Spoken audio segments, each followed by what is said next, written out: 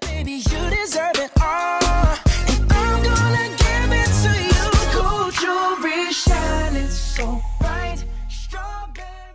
Alright, let me get this straight.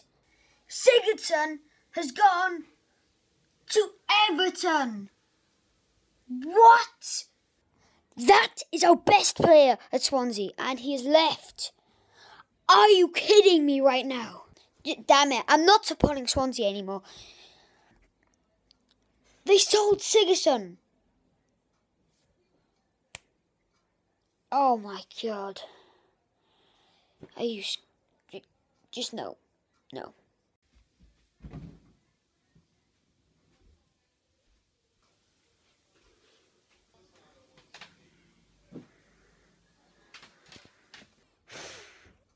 He's left.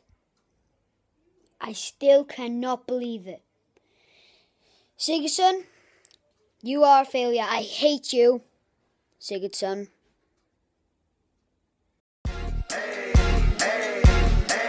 I got a condo in Manhattan.